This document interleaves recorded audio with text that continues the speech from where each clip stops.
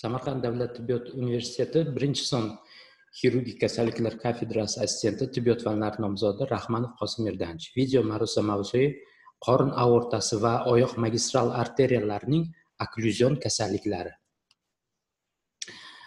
Qorin aortasi hamda mm, oyoq arteriyalarining surunkali obliteratsiyalovchi kasalliklari e, qirq oltmish yoshdagi odamlar orasida o'n foizgacha oltmish yoshdan yuqori Э, odamlarda esa yigirma foizgacha uchraydi.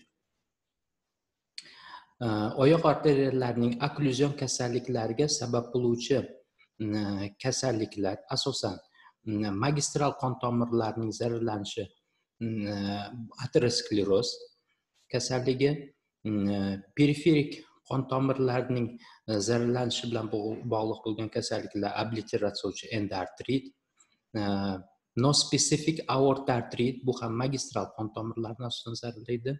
Reyno kasalligi periferik qon tomirlarni zararlaydi. Hamda periferik qon tomirlarni diabetik angiopatiyalar zararlaydi.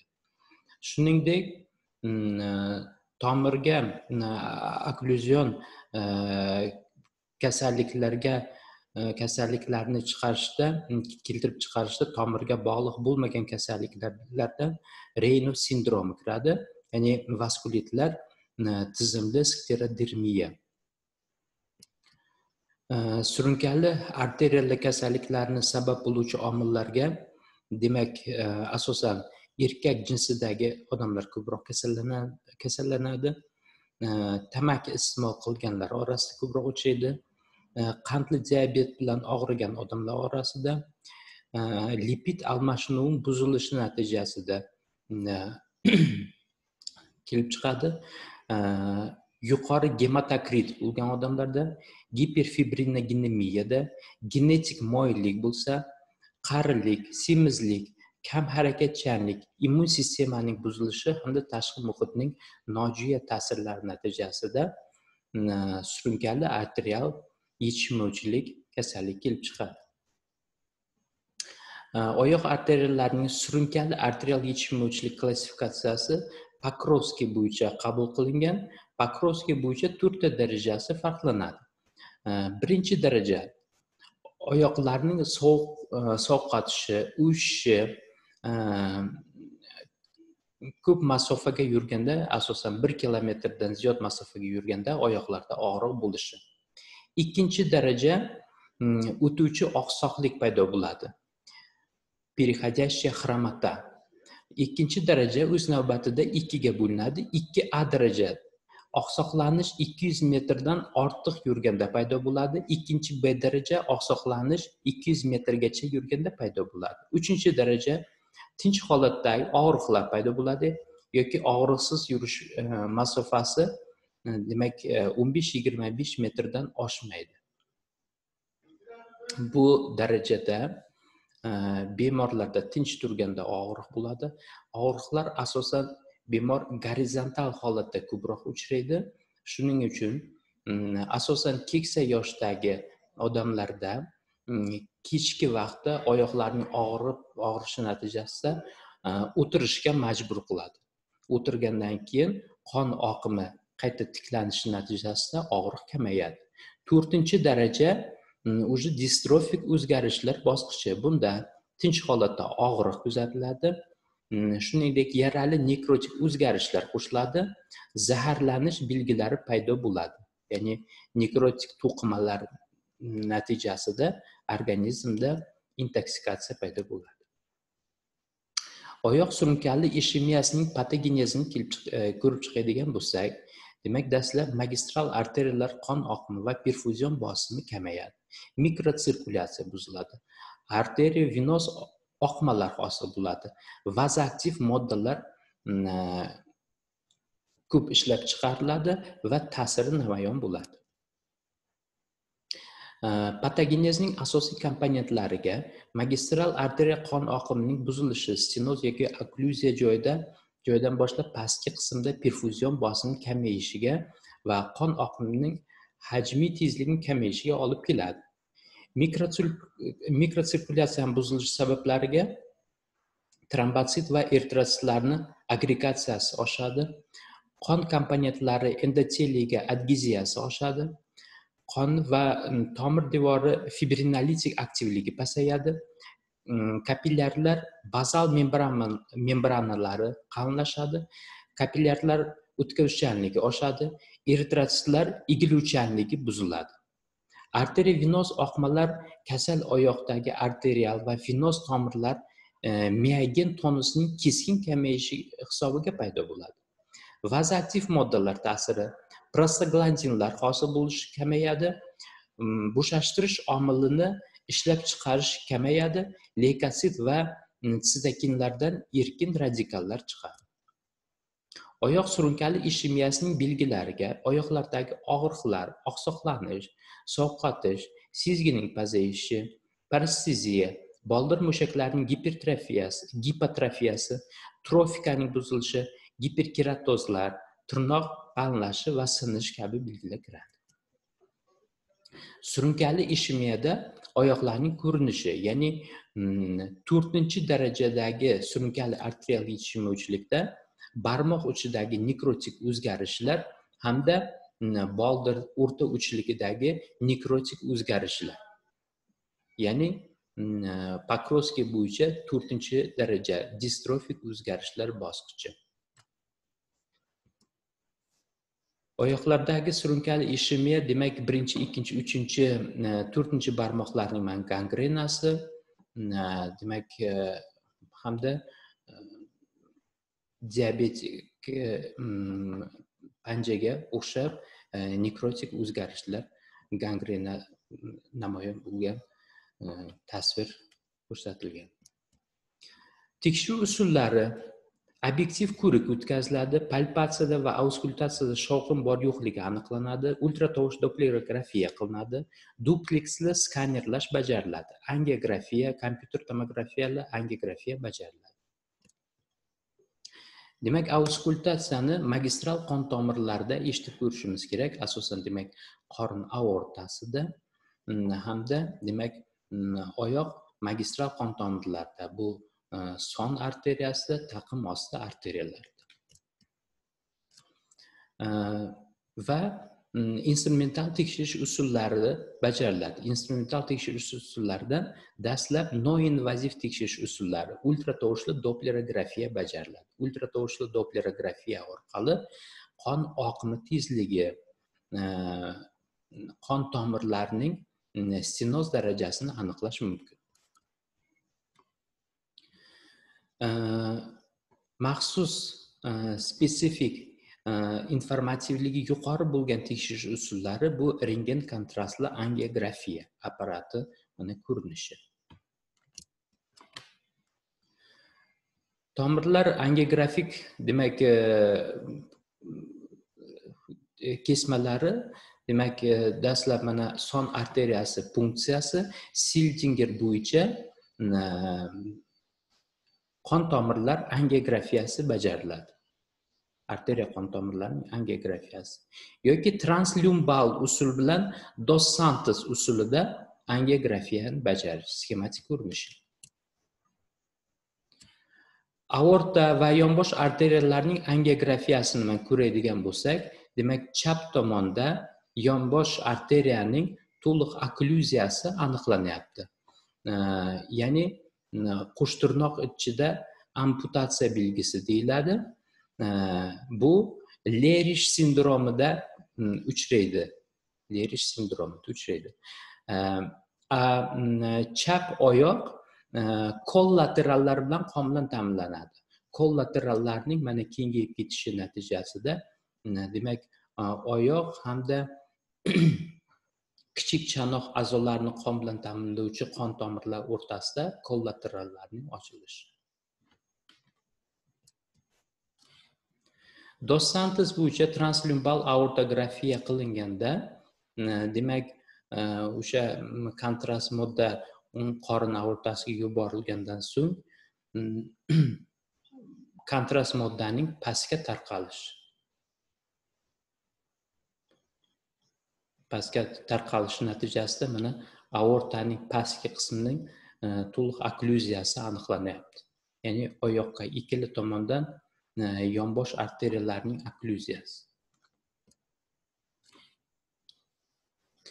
Э, shuningdek aorta arteriografiyada demak chap buyrak arteriyasining stenozi aniqlanyapti.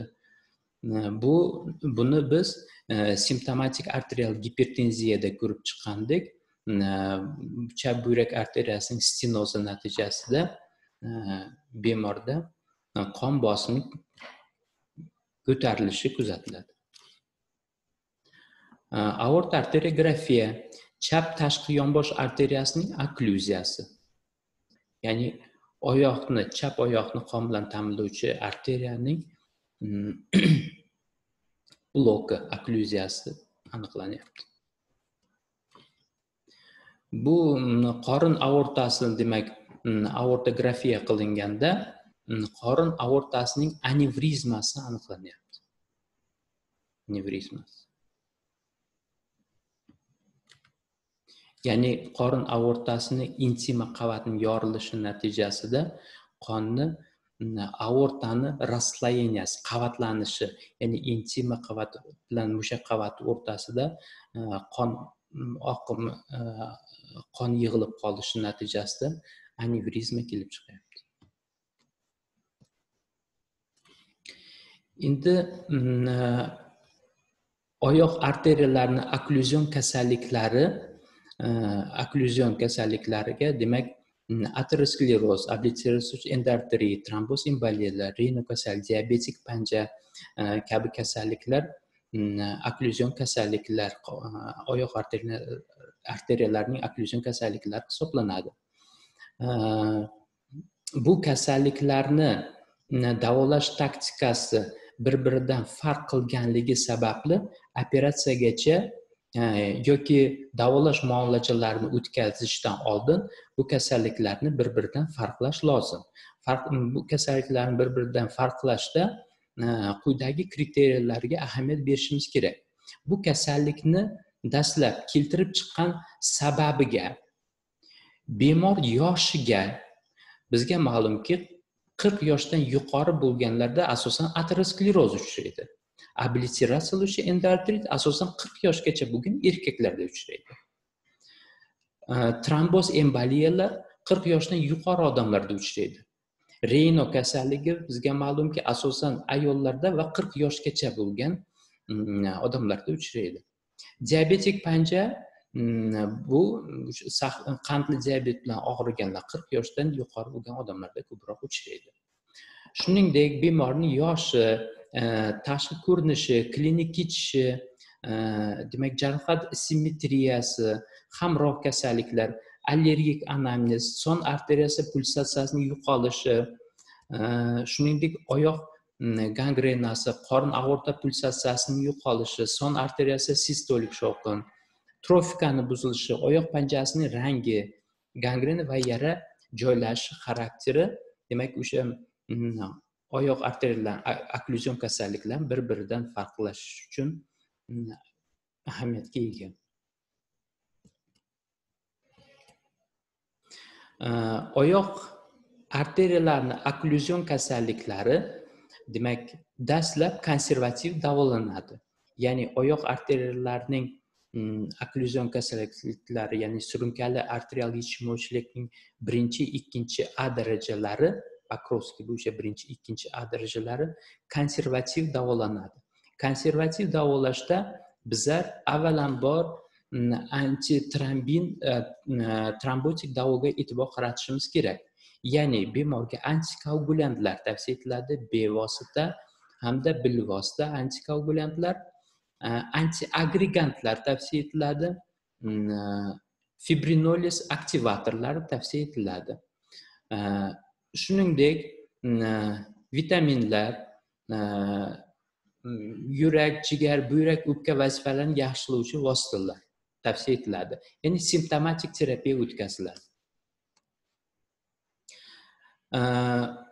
Oyoq arteriyalar okklyuzion kasalliklarini ya'ni surunkali arterial yetishmovchilikni pokrovskiy bo'yicha ikkinchi b uchinchi darajalari bu e, rekonstruksiya bosqichi deyiladi. E, ya'ni operativ davoga ko'rsatma bo'ladi. E, operativ davolardan quyidagilar qilinishi mumkin. Demak rengen endovaskulyar usullar standart rekonstruktiv ochiq operatsiyalar nostandart revaskularizatsiyalovchi operatsiyalar hamda palliativ operatsiyalar bajariladi endovaskulyar usullardan aorta rog'i okklyuzion kasalliklari video ma'ruzasida demak ko'rib chiqqandek qon tomirlarini angiodilatatsiyasi ya'ni ballonli dilatatsiya o'tkaziladi. Ballonli dilatatsiyadan keyin mm, stenoz sohasiga stent qo'yilishi mumkin. Mana mm, dilatatsiya o'tkazish sxemasi. Demak stenozga uchragan soha ya'ni mana aterosklerotik blyashka e, kateter aterosklerotik blyashkadan e, yuqoriroqqa o'tadi. Mm, distal qismga o'shandan so'ng kateter orqali ballonni dilatatsiya qilinadi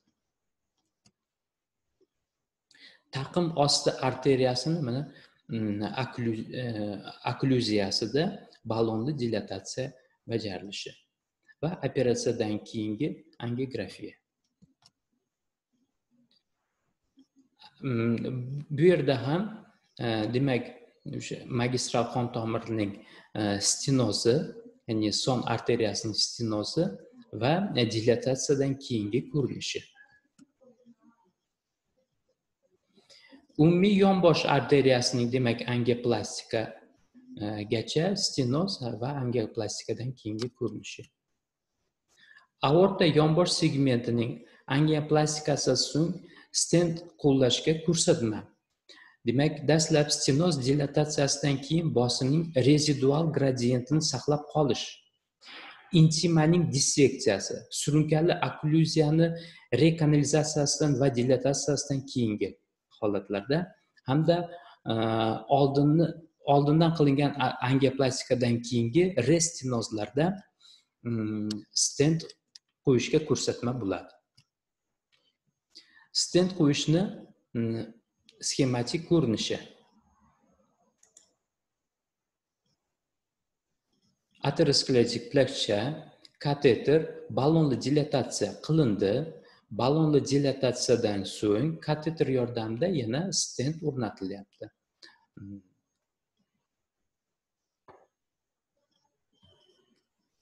Va qon tomir bo'shlig'i ochilyapti. Qon oqimi tiklanyapti. Yoki bo'lmasa e, rotorli endarterektomiya ham qilinishi mumkin kateter yordamida. Demak aterosklerotik plakchadan distal tomonga o'tilib aterosklerotik plakcha e, kateter uchidagi e, uchidagi rotorli qurilma bilan aterosklerotik plakcha olinyapti. Rekonstruktiv operatsiyalar demak ko'rsatmaga ko'ra ikkinchi b uchinchi to'rtinchi bosqichli ishemiyalarda endovaskulyar amaliyotni amalga oshirish imkoni bo'lmaganda periferik qon tomirlar yetarli darajada e, bo'lganda bemor yoshi e, jarrohlik operatsiyaga qarshi ko'rsatma bo'lmaganda e, rekonstruktiv operatsiyalar qilinadi. Rekonstruktiv operatsiyalar demak bu qorin aortasi e, pastki qismi okklyuziyasida markaziy anastomoz qo'yish ya'ni lerish sindromida qorin aortasi bilan e, umumiy yonbosh arteriyalar o'rtasida protezli anastomoz qo'yish texnikasi. Aorta son protezlashdan keyingi holat. Sxematik ko'rinishi va e, protezlashdan keyingi holat. Bu shuntlash amaliyotidan keyin bemor mm, ahvoli e, nisbatan og'ir bo'lsa e, protezlash operatsiyasidan ko'ra shuntlash operatsiyasini qo'yish ma'qulroq. Profunda plastika ya'ni arteriotomiya qilinib endarterektomiya aterosklerotik plakchalar olinadi va arteriotomik e, teshik autovenos to'qima bilan tikiladi ya'ni yamoq qo'yiladi. Agar qon tomiri diametri yetarli kenglikda bo'lsa arteriotomik e, teshik tugunni e, choklar bilan yamoqsiz tikilishi ham mumkin. Э, shuningdek э, nostandart operatsiyalar ham bajariladi. Ya'ni qorin aortasini pastki qismida e, okklyuzion e, jarayonlar bo'lganda e, nostandart usullar ya'ni umrov osti arteriyasi bilan son arteriyasi o'rtasida shuntlash operatsiyasi ham bajarilishi mumkin. Ya'ni kesma yuqorida va pastda teri ostidan shunt kelib son arteriyasiga anastomoz qilinadi. Bu yoki bo'lmasa son arteriyasini